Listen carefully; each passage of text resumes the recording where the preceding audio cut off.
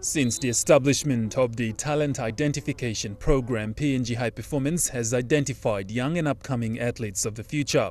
Today, carrying out the program in search of more talents in local communities, High Performance is now running TIDs for high school students where over 2,000 plus have been screened in the past. High Performance Manager says recently the Talent ID program has been extended into universities. We really want to really work with uh, the provincial team management really properly. Like talent identification is really a, it's a, it's an area of its own, you know.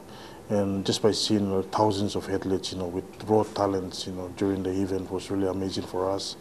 And for us to, you know, run testing with all of them, you know, we really want to work with the provincial team just to get, you know, for the for the team to be really familiar with the testings, which is very very important. You know, if we can have that core and for those provincial teams to understand what high performance is, it makes it more easy for us at the end. Papau says last year's PNG Games saw a talent ID program run concurrently with PNG Games that turned out to be a success as raw talents were recognized. Uh, last year and the previous year we did uh, the talent identification program with the secondary schools and late last year we did introduce it to the tertiary institutions.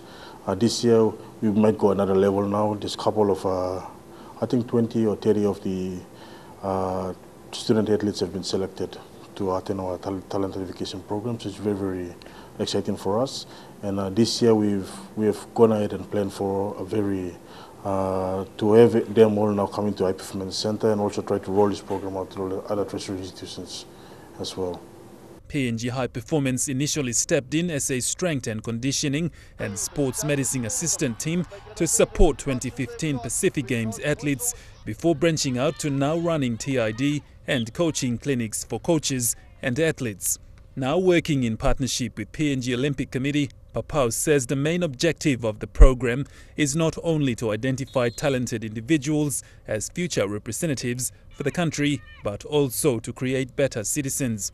Godwin Eki, National, EMTV Sports.